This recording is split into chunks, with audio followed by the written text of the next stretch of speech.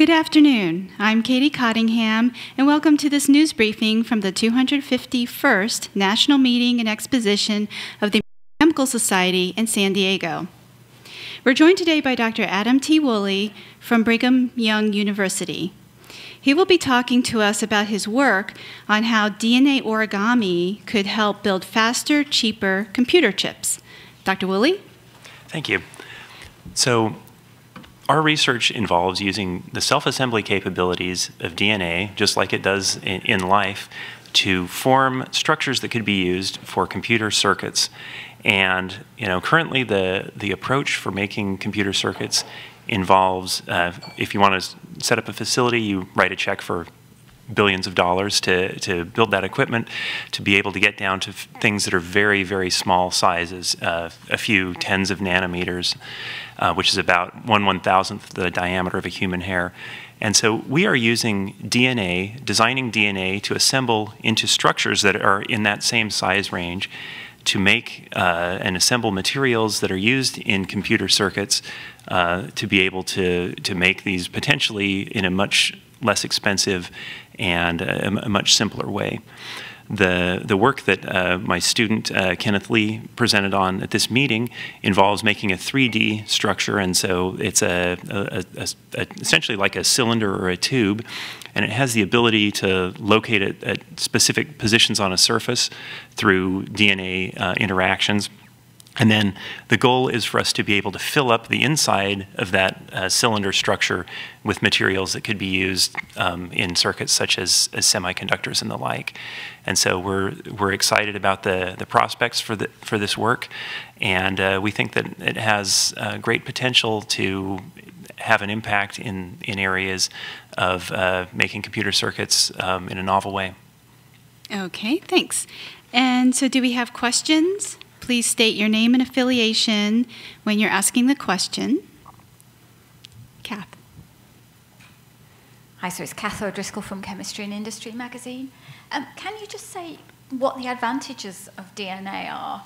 Um, how much smaller can you go than conventional silicon chips with, with DNA? And what are the implications for manufacturing? How do you envisage manufacturing might change as a result?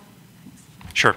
So uh, the two questions. One was about the advantages of DNA, and so so one of the advantages is that uh, DNA it, it, with with making conventional circuits, you you start off with a surface and then you carve away and add pieces to it. And so it's, it's, it's not very efficient in terms of the materials and then just the upfront costs of building the facilities.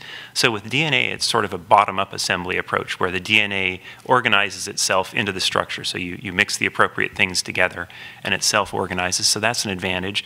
Um, in terms of how small you can go with DNA, so uh, double-stranded DNA has a diameter of about two and a half nanometers, and that's about a factor of, what is that, about a factor of six or so smaller than what they are commercially ramping up with, with uh, the fab line. So there's potential to go um, considerably smaller than what's um, currently available. Okay, other questions? Um, I have a question. So, um, what role does DNA's genetic information content play in these structures? Like, are you going to get cell phones that come alive or something? Uh, should we be worried about that? yeah, so, so actually, the, the DNA is, is only there to guide the assembly process. And so it's, it's essentially, um, it's like scaffolding that once we've built the, the structure, the electronic materials in there, the DNA is, is not needed for anything. Um, one, one could use DNAs that um, have genetic meaning, you know, related to an organism, but but you don't have to. Mm -hmm. um, they could be entirely synthetic, and, and you know what what we need is the ability for those base pairs to form A, T, and G and C to to fold into the desired structures. Okay. Any other? Oh, question in the back. Online question to turn this on. Um, Christine Sa, Office of Public Affairs. Um, I just had a question about the stability of DNA for use in electric circuits? How, how stable would it be? That's a great question. So compared to, to many biological structures, DNA actually has quite a bit better stability. It's, you know, base paired DNA can hold together over a reasonable range of pHs, and it's stable up to, you know, just below uh, 100 degrees or 90 or so degrees Celsius. So compared to other biological things, it's reason reasonably stable.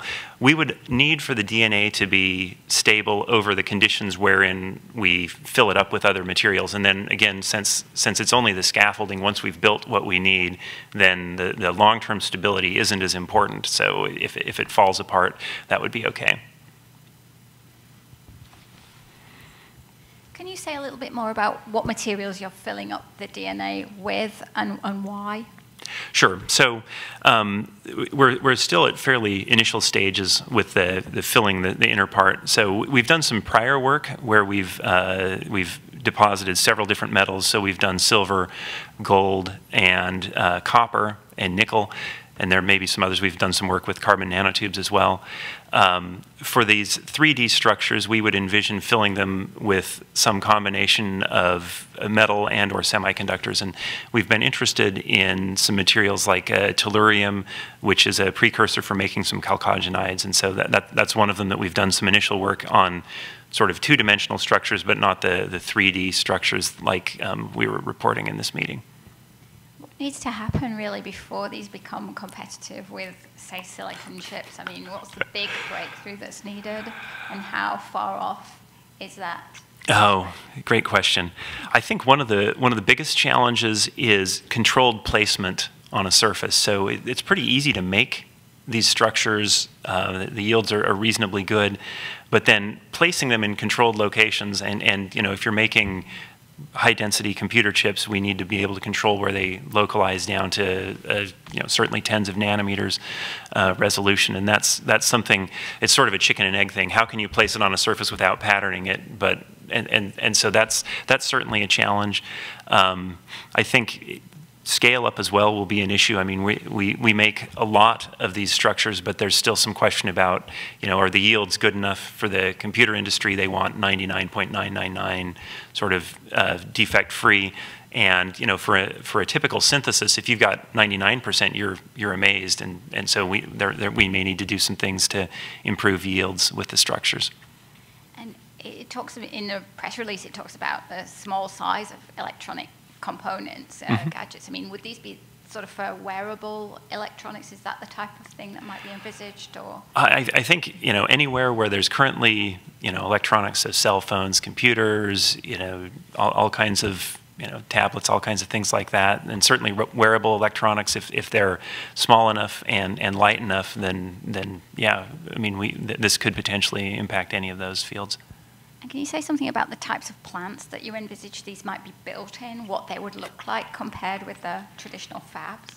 Uh, that's a great question. I, I, mean, I think it would look more like a so instead of the, the traditional fabs where you have um, a lot of high end instrumentation that's sort of daisy chained together in a in an assembly line fashion. This could be at least some parts of it would be more like a chemistry or biochemistry lab um, where you'd have uh, that, that sort of instrumentation. I think there would still need to be some equipment uh, of the assembly line variety to, to make sure things are packaged and such. Okay. Bela? Uh, Bela Buslik, uh, Office of uh, Public Affairs. Um, let's go a little further. Uh, there's been a lot of discussion, particularly in science fiction, of machines taking over. Now that you're starting to build a machine uh, with essentially attributes of a living organism and so forth, what is it, it is that's going to prevent uh, artificial intelligence from, uh, from turning back on DNA and starting to create uh, something everybody is afraid of? Interesting. Um, so uh, there, there are things one. I mean, just like in the genetic engineering field, people uh, will uh, incorporate into that antibiotic resistance genes, or I guess antibiotic susceptibility genes, so that you know they can only grow in a certain a certain environment. I mean, we could certainly do that with the the materials that to make the that, that form the DNA, and that would be. Uh, I mean, so so some of those same concerns that are used in molecular biology, biochemistry, and, and ways that they avoid, you know, these organisms you know, invading or, or, you know, getting out of the lab. Th those are some of the things that, that could happen. I mean, at least with the, the, the, DNA origami technique, we, we only use the purified DNA, and so it doesn't have the rest of the, the sort of machinery for these uh, for, for it to replicate. But um, you know, I guess if there may be some some people out there that, that would be interested in in including the machinery. Uh, so basically, uh, other than the self-assembly capability of this uh, DNA, uh, you could use any kind of kind of a scaffolding as long as as you could make it self-assemble, which there might be some uh, something out there. That, that, that is certainly true, um, and we, we've chosen DNA just because it's available, and nature's done a really great job of figuring out how to get it to, to assemble with high yields, and so you know it's it's already it's already available. You know, certainly one could try to synthesize something new. Um, and you know, I think maybe as, as understanding of protein folding continues to improve, it might be possible to make these sorts of scaffolds with proteins. Although I think the, the stability of folded proteins isn't isn't typically as good as DNA. Thank you. Okay. Other questions? Uh, I have a question. Uh, how about RNA? Is that worse or better than DNA? How does that stack up in your origami? So, so we, we, haven't tried RNA, but as a general rule, RNA is a little more finicky. It, there are a lot of RNases just around in the environment, and, and so you have to work under more specialized conditions than with DNA. And so it, it might be possible to use RNAs for this, but we've chosen DNA just because we don't have to deal with the, these enzymes that degrade RNA. Okay. If there aren't any other questions, then thank you very much for attending the press. Oh, do we have another question? Yeah, one, yeah. Okay. One more question. question, sorry.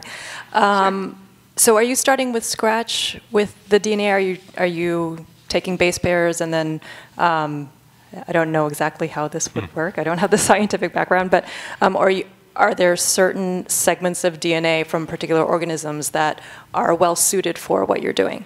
Yeah, so, so we take the, there are really two pieces to, to folding these DNAs. One of them is a long single-stranded piece of DNA, and we, and we liberally borrow from you know microorganisms. So we use a one called M13 as is a common one. It's about 7,300 bases long, and so we use that for part of it. And then we design about 200 synthetic oligonucleotides, and, and those are custom synthesized. We make those, and then we use those to, to fold the two, fold it all into, into the structure. So some of it is, is naturally occurring, some of it is, is synthesized. Okay. Oh, another question? Yep. Sam Tracy, Chemistry World. Uh, kind of related to that, does the sequence of the DNA affect its uh, stability or its ability to form these scaffolds? Uh, it's not something we've studied directly, but I, I would imagine it does. Um, you know, we, people have, in, in, fact, we also have, have studied several different uh, sequences for our, our scaffold strand to fold the DNA origami. Uh, I don't know that it's yet been systematically studied how much that would affect it, but one would expect, you know, there are certain combinations, uh, GC sections tend, tend to be more stable than AT sections in the DNA.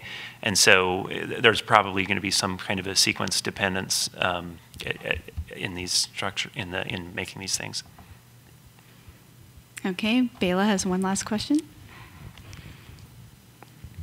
Uh, Bela Office of Public Affairs again.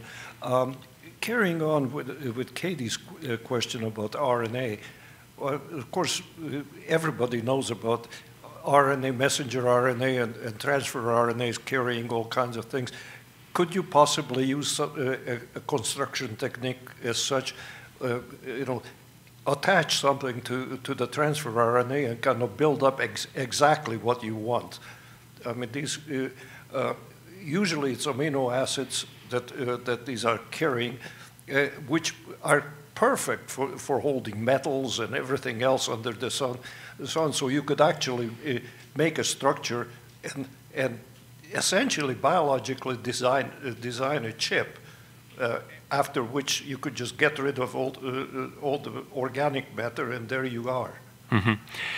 That's an interesting possibility. Um, uh, methods for so, so, methods for DNA replication, I think, are a little bit more advanced than sort of uh, what would be in vitro protein replication. I mean, the, the best way is is you you clone it into some system and then you grow it up that way, and so um, it's it's not something we are actively pursuing, but it, it's certainly you know something that could be done. And, and you know the ability to to custom synthesize proteins like you can custom synthesize DNA in, in scale um, would be you know could potentially allow this this to work you know or in fact using the combination of of you know the cellular machinery that already um, is is kind of in place to, to synthesize proteins that would you know it, it certainly it would be an interesting topic to, to consider for for um, making interest, making novel structures. Thank you. Okay. Thanks, everyone. And the archived version of this session will soon be posted at bit.ly slash ACS Live San Diego. Please join us for our next press conference today at 2 on advances in lipstick forensics. Thank you.